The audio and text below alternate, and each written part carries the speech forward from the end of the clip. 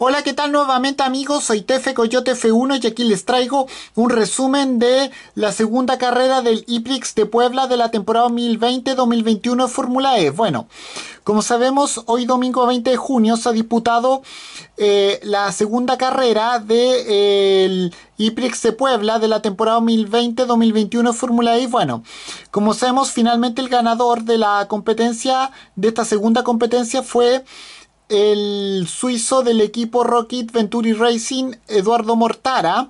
El segundo fue para Pascal Verlaine del equipo Tag Heuer Porsche. El tercer lugar fue para Nick Cassidy, eh, para Nick Cassidy del equipo Envision Virgin Racing.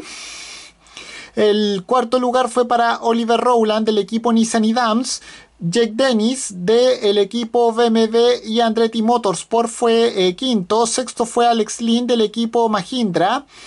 Eh, Max Gunter del equipo BMW y Andretti Motorsport fue séptimo. Octavo, Generic Vernier del equipo de, de Setichita.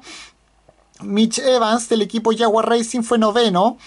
Décimo fue eh, René Rast del equipo Audi Sport of Schaffler.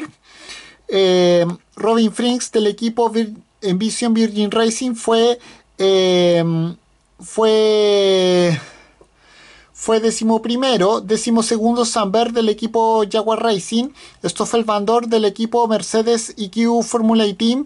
Fue fue décimo tercero, décimo cuarto Sebastián Buemi del equipo Nissan y Dams, Joel Eriksson del equipo Dragon Penske fue decimoquinto, Sergio Sete Cámara del equipo Dragon Penske fue decimosexto, decimoséptimo André Lotterer del equipo eh, del equipo Tag Heuer Porsche. Y decimoctavo finalmente fue Lucas Di Grassi del equipo Audi Av Sport Schaffler y los que abandonaron definitivamente fueron Tom Blumgis del equipo NIO, Antonio Félix Tacota, el actual campeón mundial de la Fórmula E del equipo de Setichita, Alexander Sims del equipo Mahindra, Oliver Turby del equipo NIO, Norman Nato del equipo Rocket Venturi y Nick DeVries del equipo Mercedes EQ Formula E Team.